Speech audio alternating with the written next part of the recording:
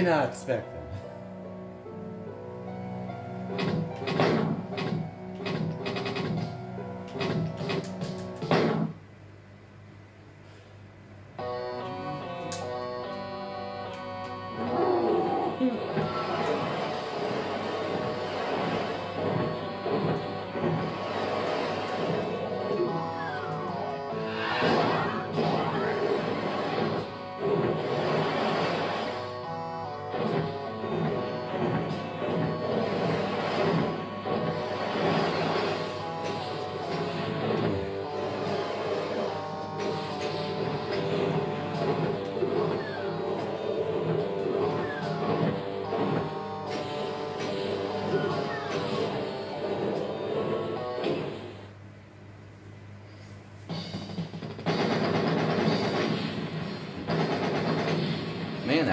Scared me. And it just popped out of nowhere, like, and it just teleported right in front of me like that.